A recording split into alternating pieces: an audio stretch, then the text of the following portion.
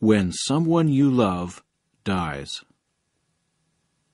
Has someone you loved fallen asleep in death? Are you still grieving? Do you need help in dealing with your grief? Is there hope for the dead? If so, what is it? How can we be sure? Such questions will receive comforting answers from the Bible. We invite you to listen carefully. It can't be true.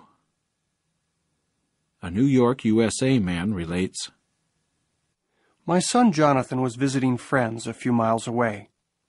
My wife, Valentina, didn't like him to go out there. She was always nervous about the traffic. But he loved electronics, and his friends had a workshop where he could get practical experience. I was at home in West Manhattan, New York. My wife was away, visiting her family in Puerto Rico. Jonathan will be back soon, I thought. Then the doorbell rang. That'll be him for sure. It wasn't. It was the police and paramedics. Do you recognize this driver's license? the police officer asked. Yes, that's my son's, Jonathan's. We've got bad news for you. There's been an accident, and your son, your son has been killed. My first reaction was, it can't be true. That bombshell opened a wound in our hearts that is still healing, even years later. A father in Barcelona, Spain, writes Back in the Spain of the 1960s, we were a happy family. There were Maria, my wife, and our three children, David, Paquito, and Isabel, aged 13, 11, and 9, respectively. One day in March 1963, Paquito came home from school complaining of severe head pains. We were baffled as to what could be the cause, but not for long. Three hours later, he was dead. A cerebral hemorrhage had snuffed out his life. Paquito's death took place over 30 years ago. Even so, the deep pain of that loss stays with us to this day. There is no way that parents can lose a child and not feel that they have lost something of themselves, regardless of how much time passes or how many other children they may have. These two experiences, where parents lost children, illustrate how deep and lasting the wound is when a child dies. How true the words of a doctor who wrote, the death of a child is usually more tragic and traumatic than the death of an older person, because a child is the last person in the family expected to die. The death of any child represents the loss of future dreams, relationships, son, daughter in law, grandchildren, experiences that have not yet been enjoyed. And this sense of deep loss can also apply to any woman who has lost a baby through miscarriage. A bereaved wife explains My husband Russell had served as a medical aide in the Pacific Theater during World War II. He had seen and survived some terrible battles. He came back to the United States and to a more tranquil life. Later, he served as a minister of God's Word. In his early 60s, he began to have symptoms of a heart problem. He tried to lead an active life. Then one day in July 1988, he suffered a massive heart attack and died. His loss was devastating. I never even got to say goodbye. He was not just my husband. He was my best friend. We had shared 40 years of life together. Now it seemed that I had to face a special loneliness. These are just a few of the thousands of tragedies that strike families throughout the world every day. As most grieving persons will tell you, when death takes your child, your husband, your wife, your parent, your friend, it is truly what the Christian writer Paul at 1 Corinthians 15:26 called it, the last enemy. Often the first natural reaction to the dreadful news may be denial. It can't be true. I don't believe it. Other reactions often follow, as we will see. However, before we consider the feelings of grief, let us answer some important questions. Does death mean the end of that person? Is there any hope that we can see our loved ones again? There is a real hope. The Bible writer Paul offered hope of relief from that last enemy death. He wrote, according to 1 Corinthians 15:26, "Death is to be brought to nothing," or as the New English Bible puts it, "The last enemy to be abolished is death." Why could Paul be so sure of that? Because he had been taught by one who had been raised from the dead, Jesus Christ. That is also why Paul could write the words found in verses 21 and 22 Since death is through a man, Adam, resurrection of the dead is also through a man, Jesus Christ. For just as in Adam all are dying, so also in the Christ all will be made alive. Jesus was deeply grieved when he met a widow of Nain and saw her dead son. The Bible account at Luke 7:12 to 16 tells us, As Jesus got near the gate of the city, Nain, why look, there was a dead man being carried out, the only begotten son of his mother. Besides, she was a widow. A considerable crowd from the city was also with her, and when the Lord caught sight of her, he was moved with pity for her, and he said to her, Stop weeping. With that he approached and touched the bier, and the bearer stood still, and he said, Young man, I say to you, get up. And the dead man sat up and started to speak, and he gave him to his mother.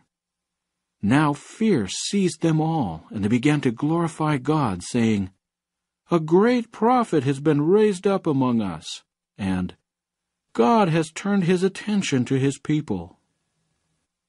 Notice how Jesus was moved with pity so that he resurrected the widow's son. Imagine what that portends for the future. There, in front of eyewitnesses, Jesus performed an unforgettable resurrection. It was a token of the resurrection that he had already predicted some time prior to this event a restoration to life on earth under what Revelation 21:1 calls a new heaven. On that occasion, Jesus had said, as recorded at John 5:28 and 29, Do not marvel at this, because the hour is coming in which all those in the memorial tombs will hear his voice and come out.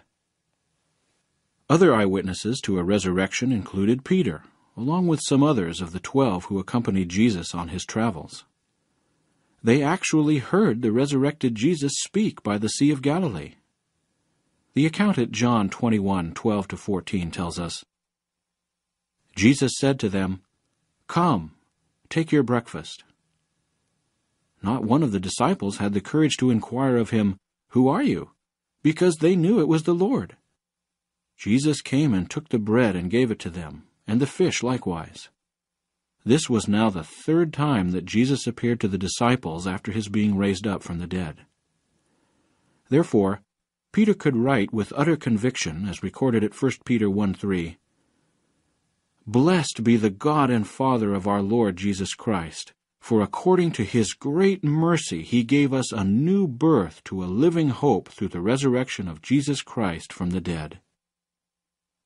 The apostle Paul expressed his confident hope when he said, as we read at Acts 24:15, I believe all the things set forth in the law and written in the prophets, and I have hope toward God, which hope these men themselves also entertain, that there is going to be a resurrection of both the righteous and the unrighteous. Millions, therefore, can have the solid hope of seeing their loved ones alive again on earth, but under very different circumstances. What will those circumstances be? Further details of the Bible based hope for our lost loved ones will be discussed in the final section entitled A Sure Hope for the Dead. But first, let us consider questions you may have if you are grieving over the loss of a loved one. Is it normal to grieve this way? How can I live with my grief? What can others do to help me cope? How can I help others who are grieving?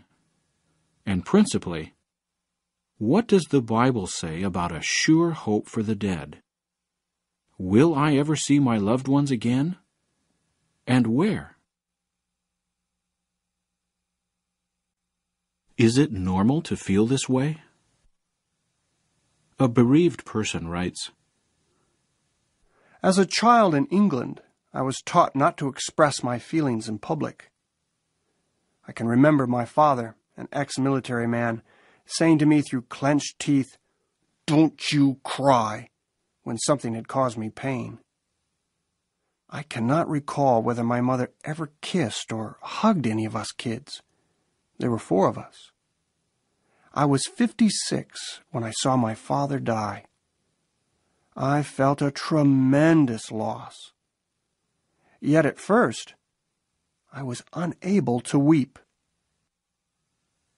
In some cultures, people express their feelings openly. Whether they are happy or sad, others know how they feel. On the other hand, in some parts of the world, notably in Northern Europe and Britain, people, especially men, have been conditioned to hide their feelings, to suppress their emotions, to keep a stiff upper lip and not wear their hearts on their sleeves. But when you have suffered the loss of a dear one, is it somehow wrong to express your grief? What does the Bible say? Those who wept in the Bible. The Bible was written by Hebrews of the eastern Mediterranean region, who were expressive people.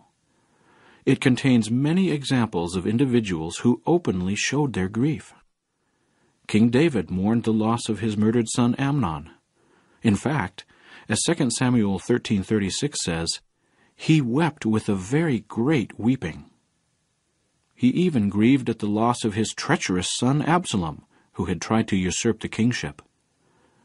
The Bible account at 2 Samuel 18:33 tells us, Then David the king became disturbed and went up to the roof chamber over the gateway and gave way to weeping.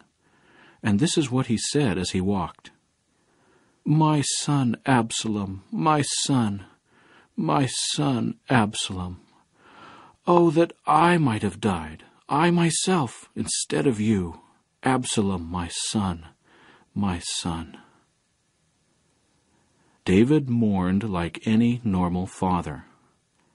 And how many times have parents wished they could have died in place of their children? It seems so unnatural for a child to die before a parent. How did Jesus react to the death of his friend Lazarus? He wept on nearing his tomb. Later, Mary Magdalene wept as she neared Jesus' sepulchre. True, a Christian with an understanding of the Bible's resurrection hope does not grieve inconsolably, as some do who do not have a clear Bible basis for their beliefs regarding the condition of the dead. But as a human with normal feelings, the true Christian, even with the hope of the resurrection, does grieve and does mourn the loss of any loved one. To weep or not to weep? What about our reactions today? Do you find it difficult or embarrassing to show your feelings? What do counselors recommend? Their modern views often merely echo the Bible's ancient inspired wisdom. They say that we should express our grief, not repress it. This reminds us of faithful men of old, such as Job, David, and Jeremiah, whose expressions of grief are found in the Bible. They certainly did not bottle up their feelings. Therefore, it is not wise to cut yourself off from people. Of course, mourning is expressed in different ways in different cultures, also depending on the prevalent religious beliefs. The footnote reads For example, the Yoruba people of Nigeria have a traditional belief in the reincarnation of the soul. So, when a mother loses a child, there is intense grief, but only for a short period, for as a Yoruba refrain says, it is the water that is spilled. The calabash is not broken.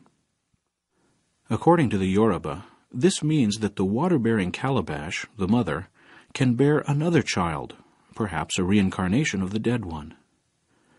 Jehovah's Witnesses do not follow any traditions based on superstitions that spring from the false ideas of the immortal soul and reincarnation, which have no basis in the Bible. End of footnote. The following is supplementary information. The grieving process. The word process does not imply that grief has any fixed schedule or program. Grief reactions can overlap and take varying lengths of time, depending on the individual. This list is not complete. Other reactions may also be manifested. The following are some of the symptoms of grief that one might experience. Early reactions Initial shock, disbelief, denial, emotional numbness, guilt feelings, anger. Acute grief may include memory loss and insomnia, extreme fatigue, abrupt changes of mood, flawed judgment and thinking, bouts of crying, appetite changes with resultant weight loss or gain, a variety of symptoms of disturbed health, lethargy, reduced work capacity, hallucinations, feeling, hearing, seeing the deceased. In the loss of a child, irrational resentment of your spouse. Leveling off period. Sadness with nostalgia. More pleasant memories of the deceased, even tinged with humor. End of supplementary information. What if you feel like weeping? It is part of human nature to weep. Recall again the occasion of Lazarus' death, when, as John 11:33 and 35 says, Jesus groaned in the spirit and gave way to tears. He thus showed that weeping is a normal reaction to the death of a loved one. This is supported by the case of a mother, Anne, who had lost her baby Rachel to SIDS, sudden infant death syndrome. Her husband commented, The surprising thing was that neither Anne nor I cried at the funeral. Everyone else was weeping. To this, Anne responded, Yes, but I have done plenty of crying for both of us. I think it really hit me a few weeks after the tragedy, when I was finally alone one day in the house. I cried all day long. But I believe it helped me. I felt better for it. I had to mourn the loss of my baby. I really do believe that you should let grieving people weep. Although it is a natural reaction for others to say, don't cry, that doesn't really help. The following is supplementary information. Sudden infant death syndrome. Facing the grief. The sudden death of a baby is a devastating tragedy. One day, an apparently normal, healthy baby fails to wake up. This is totally unexpected, for who imagines that any infant or child will die before its parents do? A baby that has become the center of a mother's boundless love is suddenly the focus of her boundless grief. Guilt feelings begin to flood in. The parents may feel responsible for the death, as if it were due to some neglect. They ask themselves, What could we have done to prevent it? The footnote reads SIDS, which usually occurs in babies aged 1 to 6 months, is the term used when healthy babies die suddenly without any explicable cause. In some cases, it is believed that the possibility can be avoided if the baby is put to sleep on its back or side, but not face down. However, no sleeping position will prevent every case of SIDS. End of footnote. In some cases, the husband, without foundation, might even unconsciously blame his wife. When he went to work, the baby was alive and healthy. When he got home, it had died in its crib. What was his wife doing? Where was she at the time? These plaguing questions have to be cleared up so that they do not put a strain on the marriage. Unforeseen and unforeseeable circumstances caused the tragedy. The Bible at Ecclesiastes 9:11 states, "I return to see under the sun that the swift do not have the race, nor the mighty ones the battle, nor do the wise also have the food, nor do the understanding ones also have the riches, nor do even those having knowledge have the favor, because time and unforeseen occurrence befall them all. How can others help when a family loses a baby? One bereaved mother responded, One friend came and cleaned up my house without my having to say a word. Others made meals for us. Some just helped by giving me a hug. No words, just a hug. I didn't want to talk about it. I didn't want to have to explain over and over again what had happened. I didn't need prying questions as if I had failed to do something. I was the mother.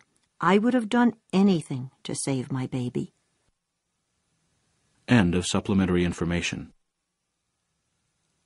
How some react. How have some reacted when desolated by the loss of a loved one? For example, consider Juanita. She knows how it feels to lose a baby. She had had five miscarriages. Now she was pregnant again. So when a car accident forced her to be hospitalized, she was understandably worried. Two weeks later, she went into labor, prematurely. Shortly afterward, little Vanessa was born, weighing just over two pounds. Juanita recalls, I was so excited. I was finally a mother. But her happiness was short lived. Four days later, Vanessa died recalls Juanita. I felt so empty. My motherhood was taken away from me. I felt incomplete. It was painful to come home to the room we had prepared for Vanessa and to look at the little undershirts I had bought for her. For the next couple of months, I relived the day of her birth. I didn't want to have anything to do with anyone. An extreme reaction? It may be hard for others to understand, but those who, like Juanita, have gone through it, explain that they grieved for their baby just as they would for someone who had lived for some time. Long before a child is born, they say, it is loved by its parents. There is a special bonding with the mother. When that baby dies, the mother feels that a real person has been lost. And that is what others need to understand. The following is supplementary information. Miscarriage and stillbirth. Mothers grieve. Though she already had other children, Mona was eagerly looking forward to the birth of her next child. Even before the birth, it was a baby she played with, talked to, and dreamed of. The bonding process between mother and unborn child was powerful. She states, Rachel Ann was a baby who kicked books off my belly, kept me awake at night. I can still remember the first little kicks, like gentle, loving nudges. Every time she moved, I was filled with such a love. I knew her so well that I knew when she was in pain, when she was sick. The doctor wouldn't believe me until it was too late. He told me to stop worrying. I believe I felt her die she just suddenly turned over violently. The next day, she was dead. Mona's experience is no isolated event. According to authors Friedman and Gradstein in their book Surviving Pregnancy Loss, about 1 million women a year in the United States alone suffer an unsuccessful pregnancy. Of course, the figure worldwide is much greater. People often fail to realize that a miscarriage or a stillbirth is a tragedy for a woman, and one she remembers, perhaps all her life. For example, Veronica, now up in years, recalls her miscarriages and especially remembers the stillborn baby that was alive into the ninth month and was born weighing 13 pounds. She carried it dead inside her for the last two weeks. She said, To give birth to a dead baby is a terrible thing for a mother. The reactions of these frustrated mothers is not always understood, even by other women. A woman who lost her child by miscarriage wrote, What I have learned in a most painful way was that before this happened to me, I really had no idea of what my friends had to bear. I had been as insensitive and ignorant toward them as I now feel people are to me. Another problem for the grieving mother is the impression that her husband may not feel the loss as she does.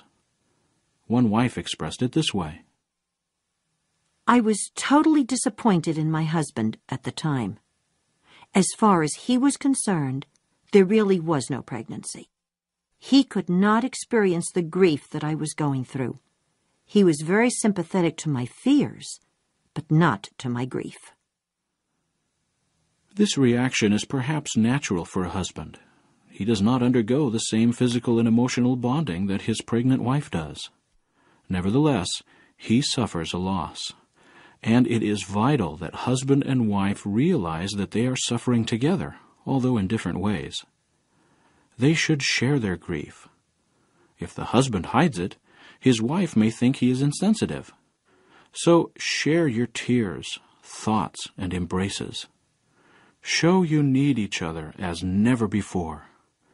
Yes, husbands, show your empathy. End of supplementary information. How anger and guilt can affect you. Another mother expressed her feelings when told that her six year old son had suddenly died because of a congenital heart problem. I went through a series of reactions numbness, disbelief, guilt, and anger toward my husband and the doctor for not realizing how serious his condition was. Anger can be another symptom of grief. It may be anger at doctors and nurses, feeling that they should have done more in caring for the deceased. Or it may be anger at friends and relatives who, it seems, say or do the wrong thing. Some get angry at the departed one for neglecting his health. Stella recalls I remember being angry with my husband because I knew it could have been different. He had been very sick, but he had ignored the doctor's warnings. And sometimes there is anger at the departed one because of the burdens that his or her death brings upon the survivor. Some feel guilty because of anger. That is, they may condemn themselves because they feel angry. Others blame themselves for their loved one's death. He wouldn't have died, they convince themselves, if only I had made him go to the doctor sooner, or made him see another doctor, or made him take better care of his health. For others, the guilt goes beyond that, especially if their loved one died suddenly, unexpectedly. They start recalling the times when they had become angry at the departed one, or had argued with him. Or they may feel that they were not really all that they should have been to the deceased. The long grieving process of many mothers supports what many experts say that the loss of a child leaves a permanent gap in the life of the parents, particularly the mother.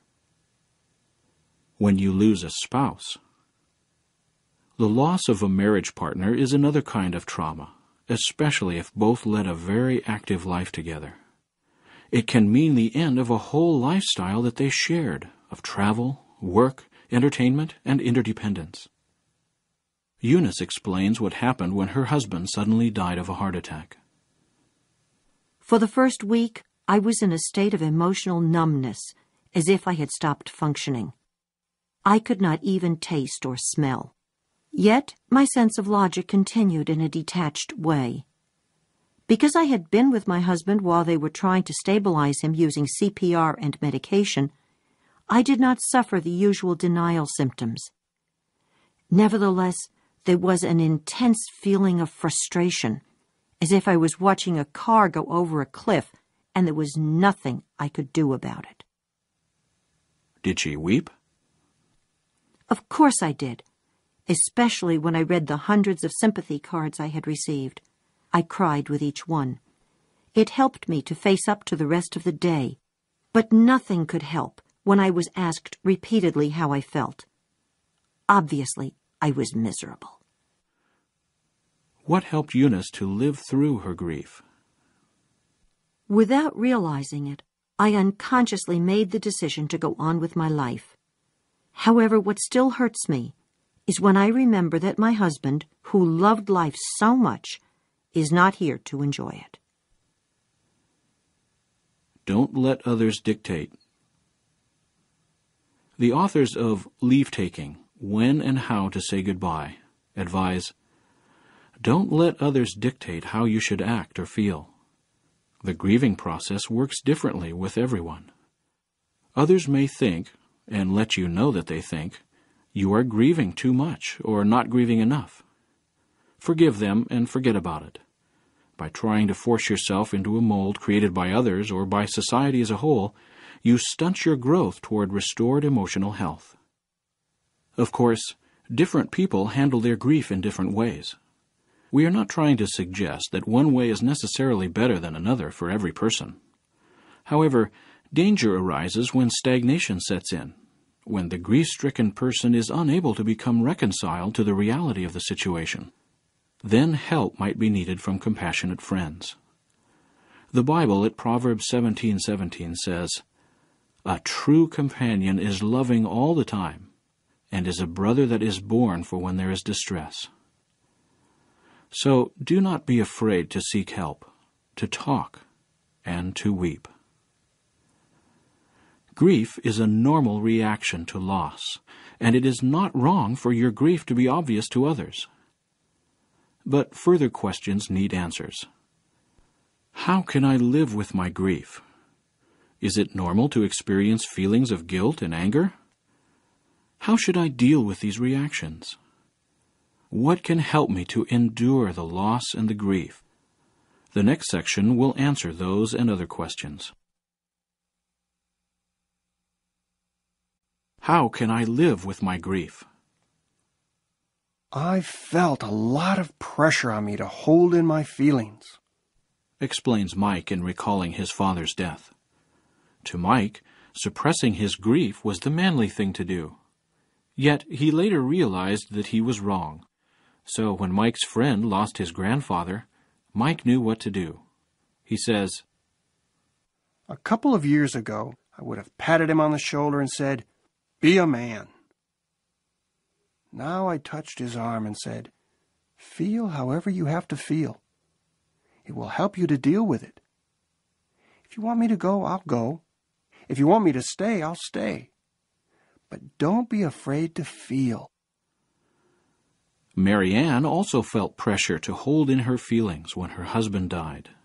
She recalls, I was so worried about being a good example to others that I did not permit myself the normal feelings. But I eventually learned that trying to be a pillar of strength for others wasn't helping me. I began analyzing my situation and saying, Cry if you have to cry. Don't try to be too strong. Get it out of your system. So both Mike and Marianne recommend let yourself grieve. And they are correct. Why? because grieving is a necessary emotional release. Releasing your feelings can relieve the pressure you are under. The natural expression of emotions, if coupled with understanding and accurate information, lets you put your feelings in proper perspective. Of course, not everyone expresses grief in the same way, and such factors as whether the loved one died suddenly or death came after a long illness might have a bearing on the emotional reaction of the survivors. But one thing appears certain repressing your feelings can be harmful both physically and emotionally. It is far healthier to release your grief. How? The scriptures contain some practical advice. Releasing grief. How? Talking can be a helpful release. Following the death of all ten of his children, as well as some other personal tragedies, the ancient patriarch Job said, according to Job 10.1, My soul certainly feels a loathing toward my life. I will give vent to, or in Hebrew, loose, my concern about myself. I will speak in the bitterness of my soul. Job could no longer restrain his concern. He needed to let it loose. He had to speak. Similarly, the English dramatist Shakespeare wrote in Macbeth Give sorrow words. The grief that does not speak whispers the o'er-fraught heart and bids it break. So, talking about your feelings to one whom Proverbs 17:17 describes as a true companion who will listen patiently and sympathetically can bring a measure of relief. Putting experiences and feelings into words often makes it easier to understand them and to deal with them. And if the listener is another bereaved person who has effectively dealt with his or her own loss, you may be able to glean some practical suggestions on how you can cope. When her child died, one mother explained why it helped to talk to another woman who had faced a similar loss. To know that somebody else had gone through the same thing, had come out whole from it, and that she was still surviving and finding some sort of order in her life again was very strengthening to me. What if you are not comfortable talking about your feelings? Following the death of Saul and Jonathan, David composed a highly emotional dirge in which he poured out his grief. This mournful composition eventually became part of the written record of the Bible book of 2 Samuel. Similarly, some find it easier to express themselves in writing.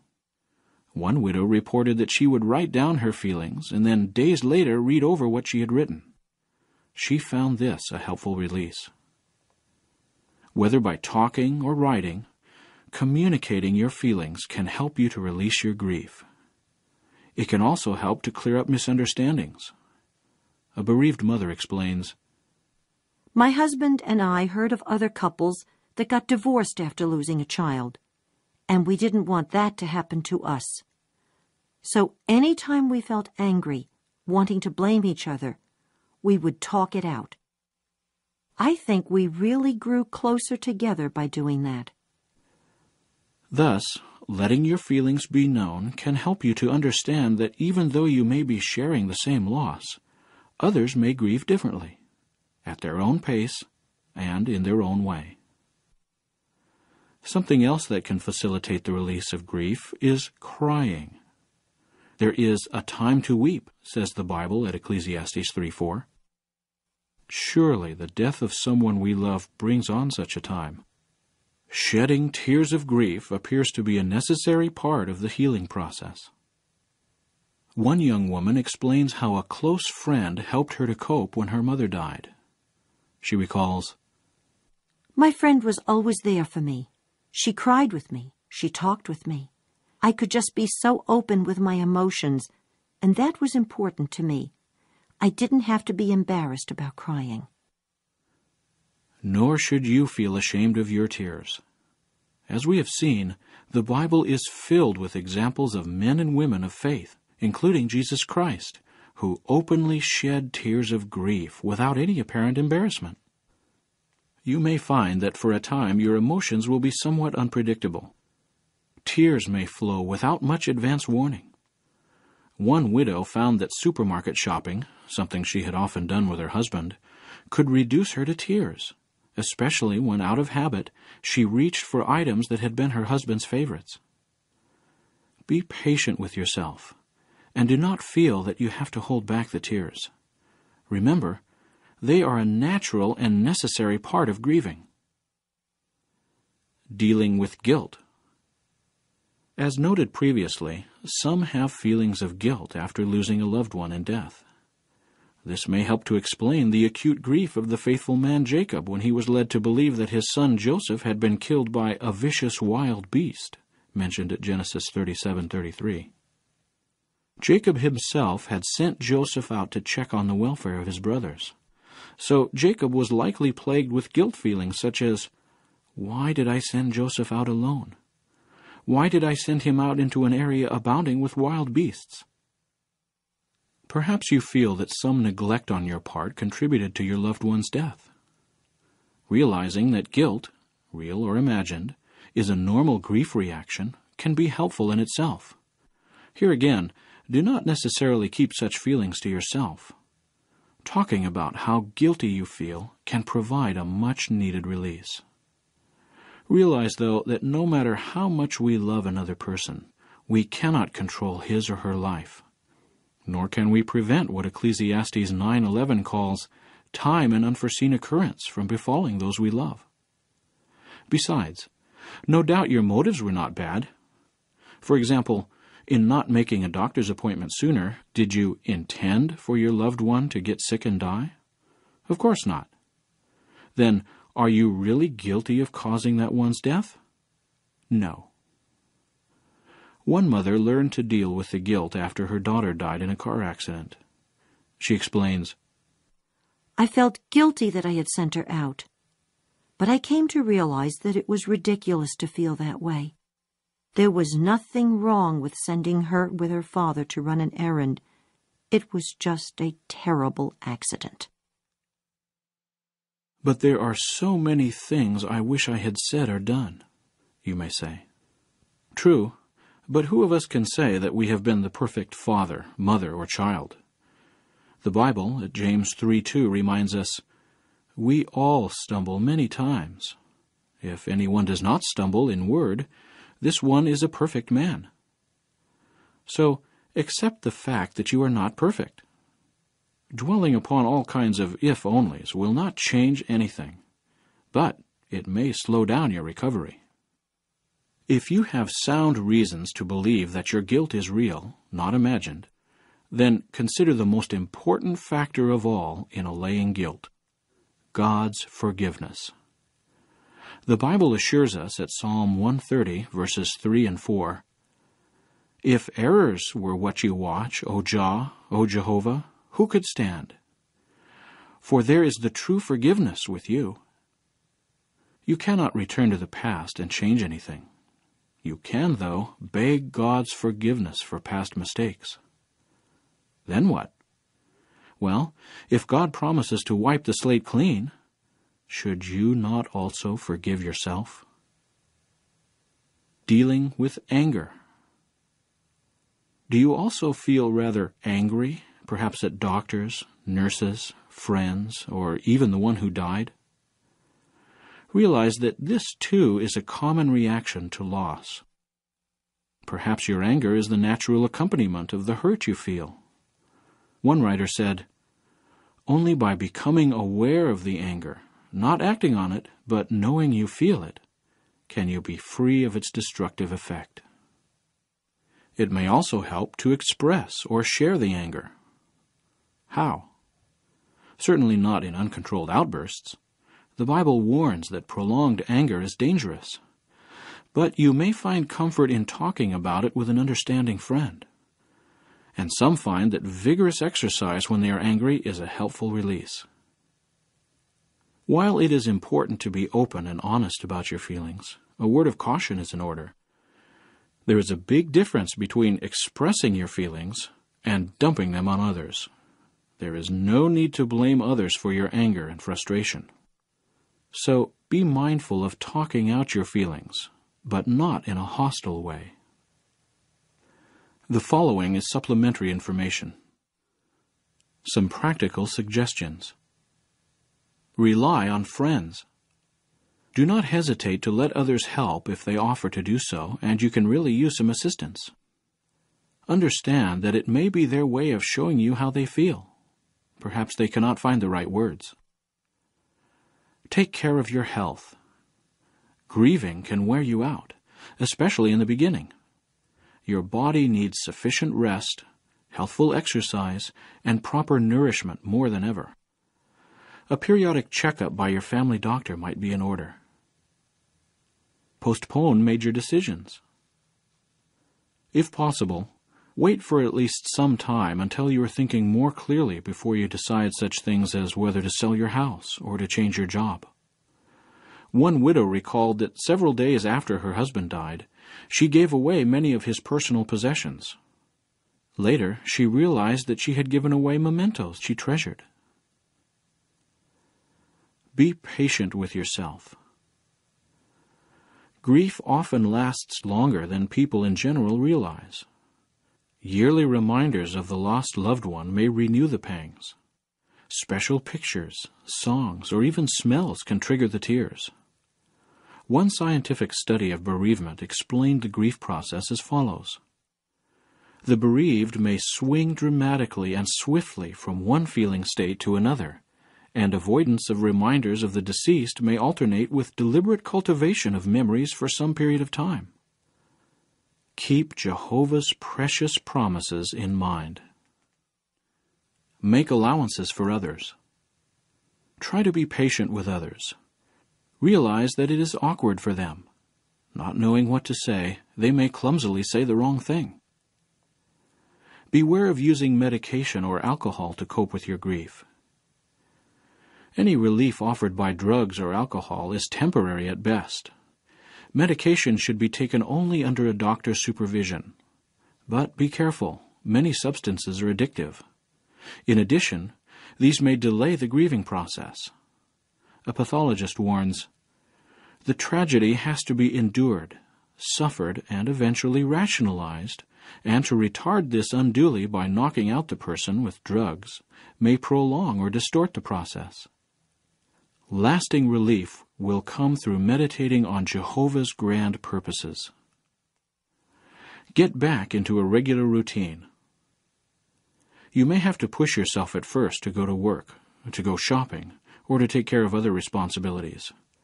But you may find that the structure of your normal routine will do you a lot of good. Keep busy in Christian works. Do not be afraid to let go of acute grief.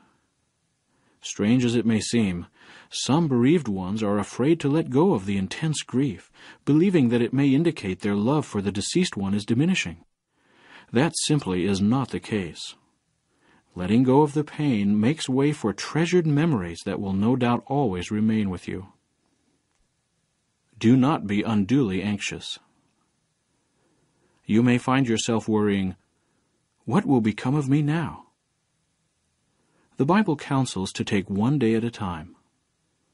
Living more on a day to day basis really helps me, explains one widow.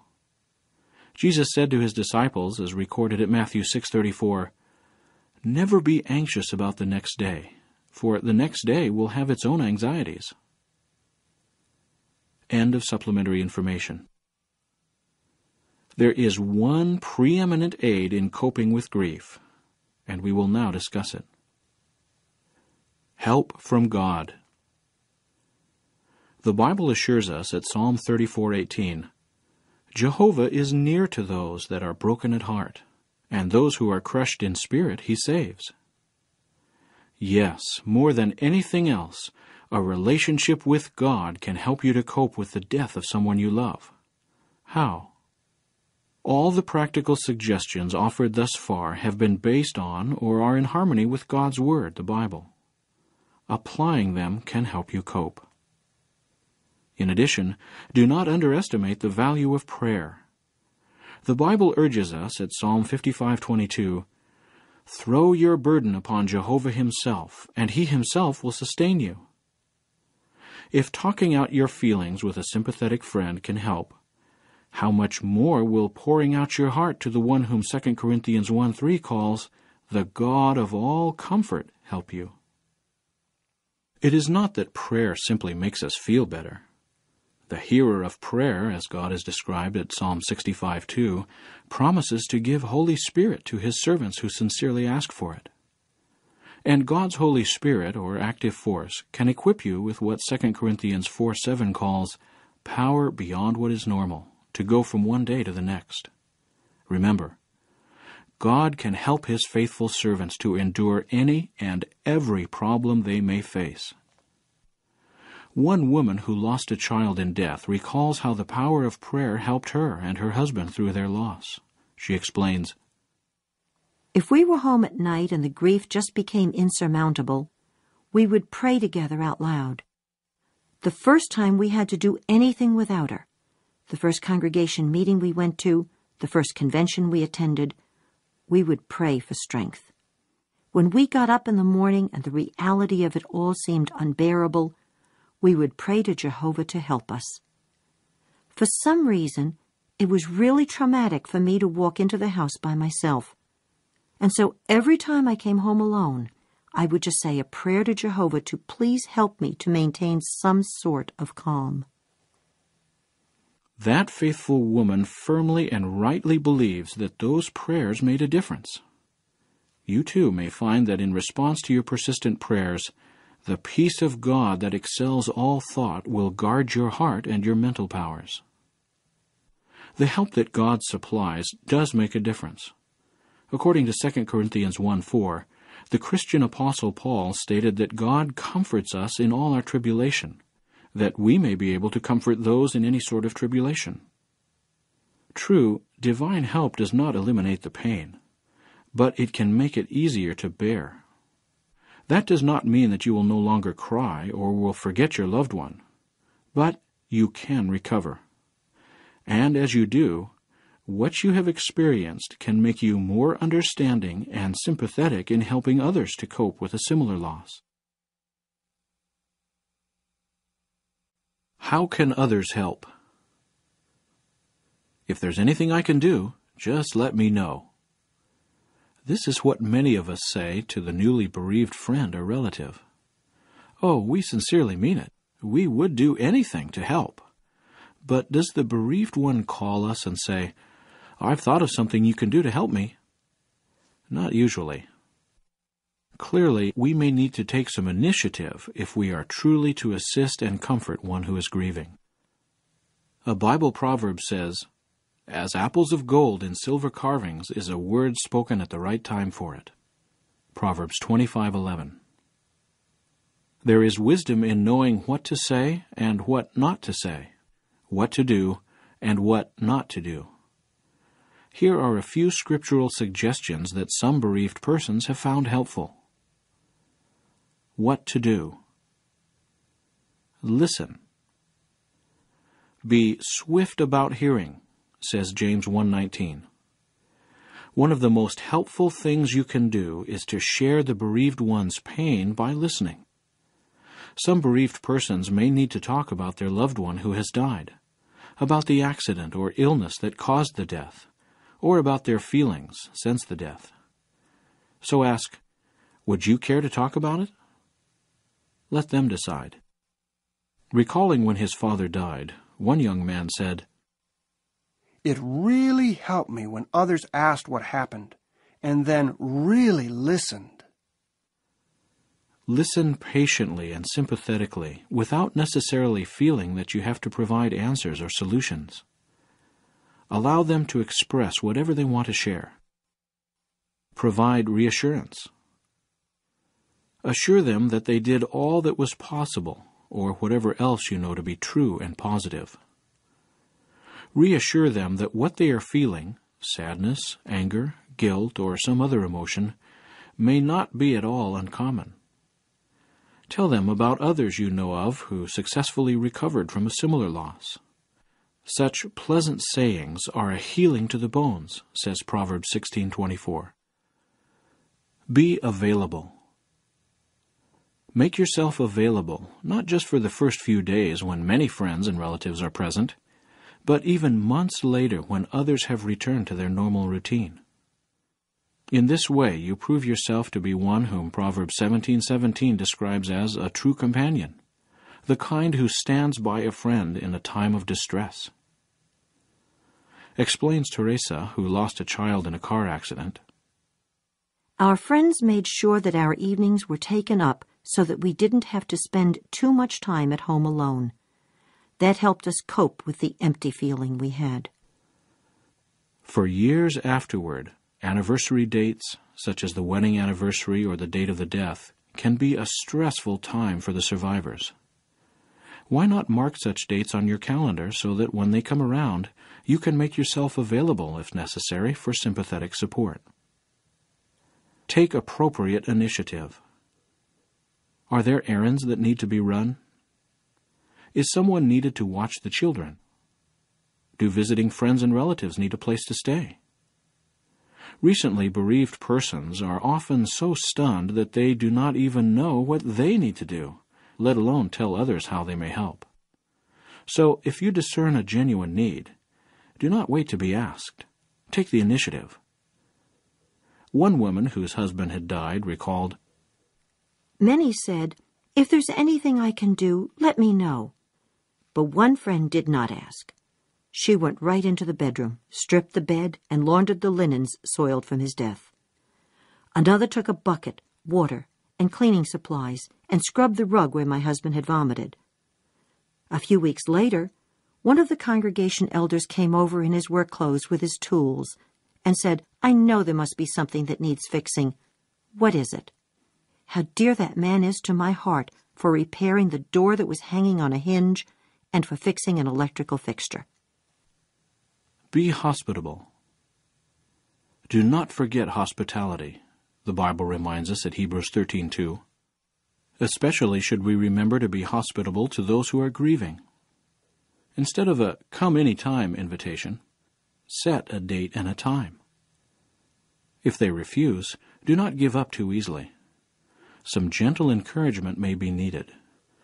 Perhaps they declined your invitation because they are afraid of losing control of their emotions in front of others. Or they may feel guilty about enjoying a meal and fellowship at such a time. Remember the hospitable woman Lydia mentioned in the Bible. After being invited to her home, Luke says, as recorded at Acts 16:15, "She just made us come." Be patient and understanding. Do not be too surprised by what bereaved ones may say at first. Remember, they may be feeling angry and guilty. If emotional outbursts are directed at you, it will take insight and patience on your part not to respond with irritation. Clothe yourselves with the tender affections of compassion, kindness, lowliness of mind, mildness, and long-suffering, recommends the Bible at Colossians 3:12. Write a letter. Often overlooked is the value of a letter of condolence or a sympathy card. Its advantage? Answers Cindy, who lost her mother to cancer. One friend wrote me a nice letter. That really helped because I could read it over and over again. Such a letter or card of encouragement may be composed in few words, as Hebrews 13:22 says, but it should give of your heart. It can say that you care and that you share a special memory about the deceased, or it can show how your life was touched by the person who died. Pray with them do not underestimate the value of your prayers with and for bereaved ones. The Bible at James 5:16 says, "A righteous man's supplication has much force." For example, hearing you pray in their behalf can help them allay such negative feelings as guilt. What not to do. Do not keep away because you do not know what to say or do. I'm sure they need to be alone right now, we may tell ourselves.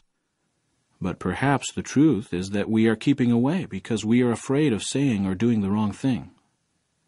However, being avoided by friends, relatives, or fellow believers may only make the bereaved one feel lonelier, adding to the pain.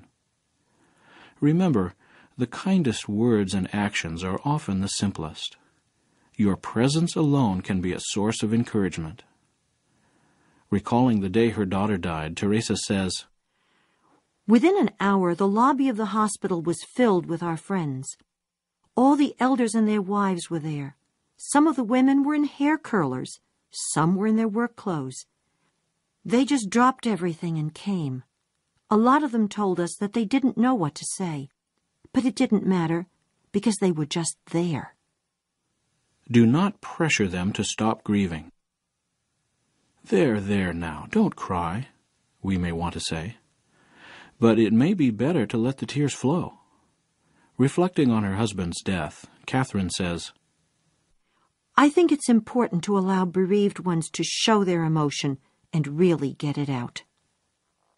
Resist the tendency to tell others how they should feel, and do not assume that you have to hide your feelings in order to protect theirs.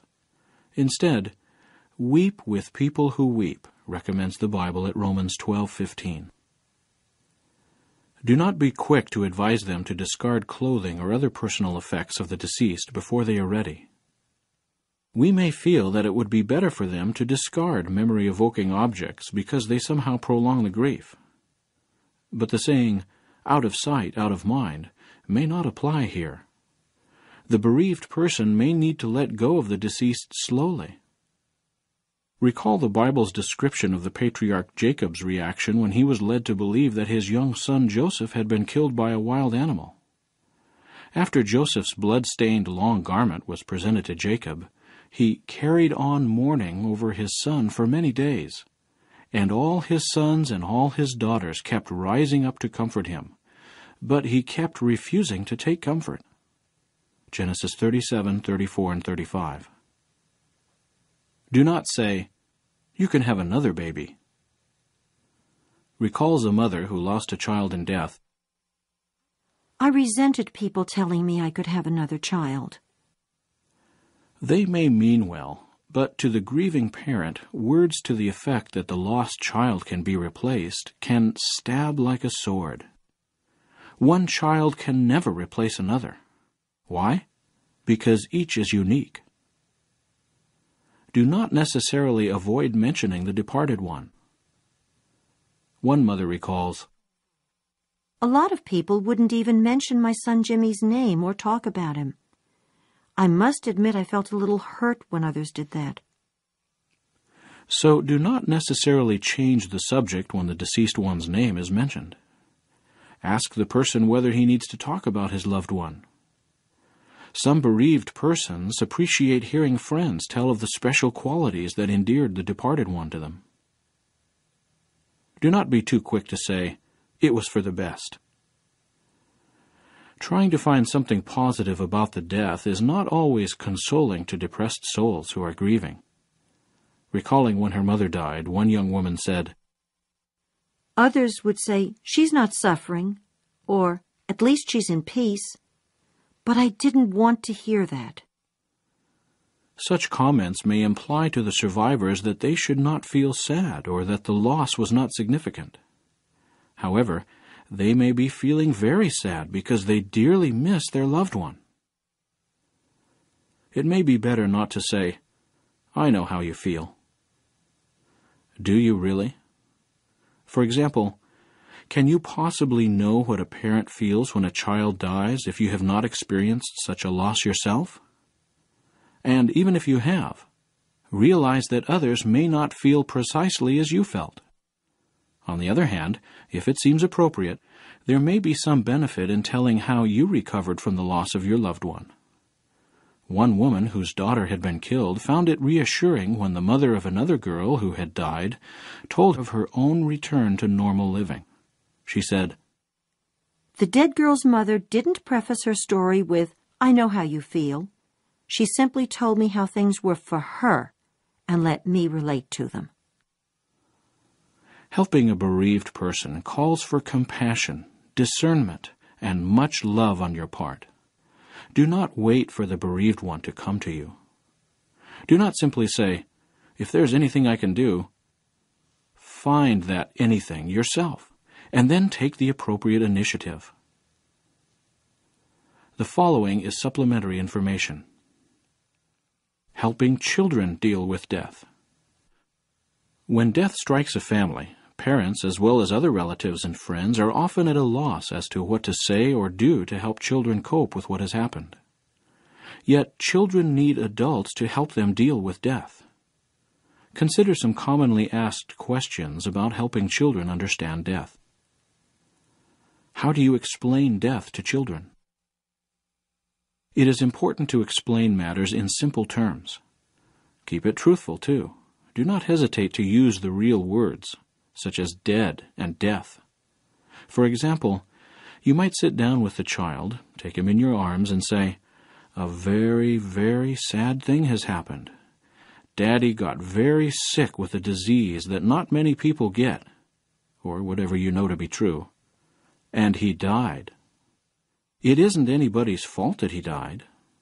We'll miss him very much because we loved him and he loved us. However, it may be helpful to explain that the child or his surviving parent is not likely to die simply because that one gets sick at times. Encourage their questions. What's dead? they may ask. You might answer this way. Dead means that the body stopped working and can't do any of the things it used to. It can't talk, see, or hear, and it can't feel anything. A parent who believes the Bible's promise of a resurrection can use this opportunity to explain that Jehovah God remembers the departed one and can bring him back to life in the future earthly paradise. Is there anything you should not say? It is not helpful to say that the deceased has gone on a long journey.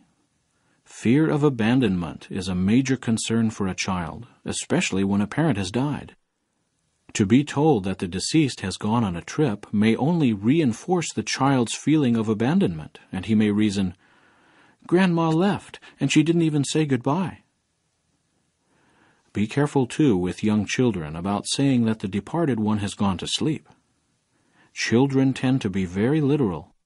If a child equates sleep with death, a fear of going to bed at night can result. Should children attend the funeral services? Parents should take into account the children's feelings. If they do not want to go, do not force them or in any way make them feel guilty for not going. If they want to go, give them a detailed description of what will take place, including whether there will be a casket and whether it will be open or closed. Explain, too, that they may see a lot of people crying because they are sad. Again, let them ask questions, and reassure them that they can leave if they need to. How do children react to death? Children often feel responsible for the death of a loved one. Because a child may at one time or another have felt angry at the person who died, the child may come to believe that angry thoughts or words caused the death. You might need to offer some comfort. Your thoughts and words are not what make people sick, and they don't make people die. A young child may need such reassurances repeatedly. Should you hide your grief from children? Crying in front of children is both normal and healthy. Besides, it is almost impossible to hide your feelings from children completely. They tend to be very discerning and can often sense that something is wrong. Being honest about your grief lets them know that it is normal to grieve and at times to show your feelings. End of supplementary information. A few questions remain. What about the Bible's hope of a resurrection? What can it mean for you and your loved one who has died? How can we be sure that it is a reliable hope? A sure hope for the dead. A 25 year old woman wrote In 1981, my adoptive mother died of cancer. Her death was very hard on me and my adoptive brother. I was 17 and my brother was 11. I missed her so much. Having been taught that she was in heaven, well, I wanted to take my own life to be with her. She was my best friend. It seems so unfair that death should have the power to take away someone you love. And when it happens, the thought of never again being able to talk to, laugh with, or hold your loved one can be most difficult to bear. That pain is not necessarily erased by being told that your loved one is up in heaven. The Bible, however, holds out a much different hope. As we have previously noted, the Scriptures indicate that it is possible to be reunited with your dead loved one in the near future, not in an unknown heaven, but right here on earth under peaceful, righteous conditions and at that time humans will have the prospect of enjoying perfect health, and they will never have to die again. But surely that is wishful thinking, some may say. The following is supplementary information. Texts that comfort. Time and again, in explaining how they have coped with their grief, faithful Christians have said, Let me tell you my favorite Bible text. If you are grieving, maybe some of these scriptures will also help you. Blessed be the Father of tender mercies and the God of all comfort, who comforts us in all our tribulation. 2 Corinthians 1 3 and 4. You are opening your hand and satisfying the desire of every living thing. Psalm 145 16. He, God, has set a day in which he purposes to judge the inhabited earth in righteousness by a man whom he has appointed.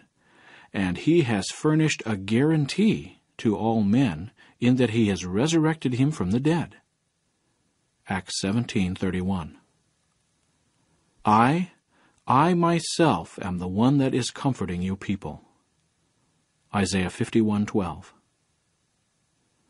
Like a man whom his own mother keeps comforting, so I myself shall keep comforting you people. Isaiah 66:13. This is my comfort in my affliction, for your own saying has preserved me alive. I have remembered your judicial decisions from time indefinite, O Jehovah, and I find comfort for myself. May your loving kindness serve, please, to comfort me, according to your saying to your servant. Psalm 119, 50, 52, and 76. The hour is coming in which all those in the memorial tombs will hear his voice and come out, those who did good things to a resurrection of life. John 5, 28 and 29. End of supplementary information. What would it take to convince you that this is a sure hope? To believe in a promise, you would need to be certain that the one making the promise is both willing and able to fulfill it. Who then is it that promises that the dead will live again? In the spring of 31 CE, Jesus Christ boldly promised, as recorded at John 5, 21, 28, and 29, Just as the Father raises the dead up and makes them alive, so the Son also makes those alive whom he wants to.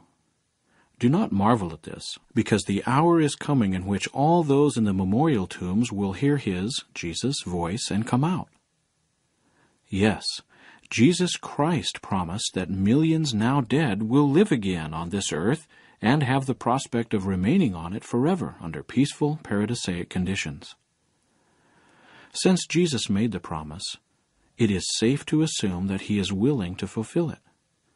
But is he able to do so? Less than two years after making that promise, Jesus demonstrated in a powerful way that he is both willing and able to perform the resurrection. Lazarus, come on out. It was a touching scene. Lazarus was gravely ill.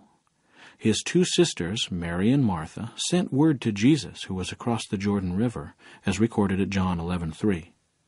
Lord, see, the one for whom you have affection is sick. They knew that Jesus loved Lazarus. Would not Jesus want to see his sick friend? Curiously, instead of going to Bethany immediately, Jesus stayed where he was for the next two days. Lazarus died some time after the message about his sickness was sent. Jesus knew when Lazarus died, and he intended to do something about it. By the time Jesus finally arrived in Bethany, his dear friend had been dead four days. Could Jesus bring back to life someone who had been dead that long? On hearing that Jesus was coming, Martha, a woman of action, ran out to meet him. Touched by her sorrow, Jesus assured her, as recorded at John 11:23, "Your brother will rise." When she indicated her faith in a future resurrection, Jesus plainly told her, according to verse 25, I am the resurrection and the life. He that exercises faith in me, even though he dies, will come to life. Upon arriving at the tomb, Jesus directed that the stone closing its entrance be taken away. Then, after praying aloud, he commanded, according to verse 43, Lazarus, come on out. All eyes were fixed on the tomb. Then, out of the darkness, a figure emerged. His feet and hands were bound with wrappings, and his face was bound with a cloth. Loose him and let him go, ordered Jesus, as recorded at John 11:44. The last of the unraveled bandages fell to the ground. Yes, it was Lazarus, the man who had been dead four days. Did it really happen? The account of the raising of Lazarus is presented in the Gospel of John as a historical fact. The details are too vivid for it to be a mere allegory. To question its historicity is to question all the miracles of the Bible, including the resurrection of Jesus Christ himself. And to deny the resurrection of Jesus is to deny the Christian faith as a whole. Actually, if you accept the existence of God, you should have no problem believing in the resurrection. To illustrate, a person can videotape his last will and testament, and after he dies, his relatives and friends can see and hear him, in effect, as he explains how his estate is to be handled. A hundred years ago, such a thing was unthinkable. And to some people now living in remote parts of the world, the technology of video recording is so beyond comprehension as to seem miraculous. If scientific principles established by the Creator can be used by humans to reconstruct such a visible and audible scene, should not the Creator be able to do far more? Is it not reasonable, then, that the one who created life is capable of recreating it? The miracle of Lazarus' restoration to life served to increase faith in Jesus and the resurrection.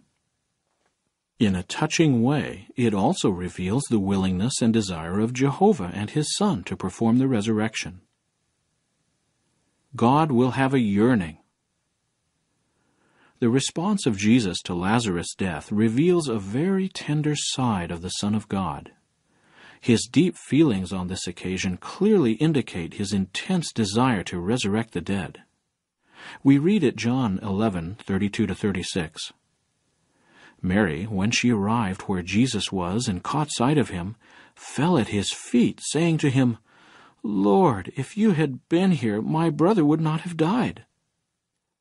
Jesus, therefore, when he saw her weeping, and the Jews that came with her weeping, groaned in the spirit and became troubled, and he said, Where have you laid him? They said to him, Lord, come and see. Jesus gave way to tears. Therefore the Jews began to say, See what affection he used to have for him. Jesus' heartfelt compassion is here indicated by three expressions groaned, became troubled, and gave way to tears. The original language words used in recording this touching scene indicate that Jesus was so deeply moved by the death of his dear friend Lazarus and the sight of Lazarus' sister weeping that his eyes brimmed over with tears. The footnote reads The Greek word rendered groaned is from a verb embrimaomai that signifies to be painfully or deeply moved. One Bible scholar notes here it can only mean that such deep emotion seized Jesus that an involuntary groan was wrung from his heart. The expression translated troubled comes from a Greek word tarasso that indicates agitation. According to a lexicographer, it means to cause one inward commotion, to affect with great pain or sorrow. The expression gave way to tears comes from a Greek verb dakryo that means to shed tears, weep silently. End of footnote. What is so remarkable is that Jesus had previously brought two others back to life, and he fully intended to do the same with Lazarus. Yet, he gave way to tears. Restoring humans to life, then, is not a mere procedure for Jesus. His tender and deep feelings, as manifested on this occasion, clearly indicate his intense desire to undo the ravages of death. Since Jesus is the exact representation of Jehovah God's very being, we rightly expect no less of our Heavenly Father. Of Jehovah's own willingness to perform the resurrection, the faithful man Job said, as noted at Job 14, 14 and 15, if an able bodied man dies, can he live again? You will call, and I myself shall answer you. For the work of your hands you will have a yearning. Here, the original language word that is rendered, you will have a yearning, denotes God's earnest longing and desire. Clearly, Jehovah must keenly anticipate the resurrection. Can we really believe the resurrection promise? Yes, there is no doubt that Jehovah and his Son are both willing and able to fulfill it. What does this mean for you? You have the prospect of being reunited with dead loved ones right here on earth, but under very different conditions. Jehovah God, who started mankind off in a lovely garden, has promised to restore paradise on this earth under the rule of his heavenly kingdom in the hands of the now glorified Jesus Christ. In that restored paradise, the human family will have the prospect of enjoying life without end, free from all sickness and disease. Gone, too, will be all hatred, racial prejudice, ethnic violence, and economic oppression. It will be into such a cleansed earth that Jehovah God, through Jesus Christ, will resurrect the dead. That is now the hope of the Christian woman mentioned at the beginning of this section. Several years after her mother died, Jehovah's Witnesses helped her to make a careful study of the Bible. She recalls After learning about the resurrection hope, I cried. It was wonderful to know that I will see my mother again. If your heart similarly yearns to see a loved one again, Jehovah's Witnesses will gladly assist you to learn how you can make this sure hope your very own. Why not contact them at a Kingdom Hall near you?